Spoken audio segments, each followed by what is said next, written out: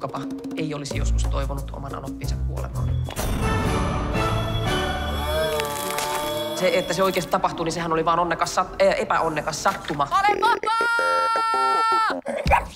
On alkanut nähdä ja kuulla asioita meillä kotona, jota ei varmaan pitäisi. Sä oot ainoa, joka voi nähdä mut. Miksi?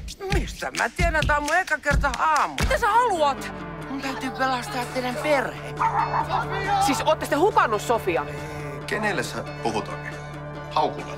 Nyt hän luulee, että mä oon tässä joku hullu, vaikka sinä se oot mamman poika, joka on vielä äitin tississä kiinni. Minä en ole äitin tississä kiinni. Mun anoppi kontrolloi sitä koiraa ja, ja puhuu sen kautta minulle. Ja yrittää oikein tahallaan ärsyttää koko ajan. Kakkaa! Kakkaa nyt! Hirviä. Enkä ole.